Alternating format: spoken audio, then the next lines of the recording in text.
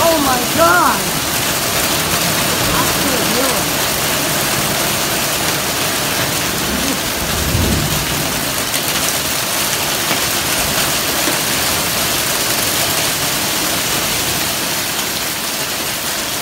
Like ice on the ground.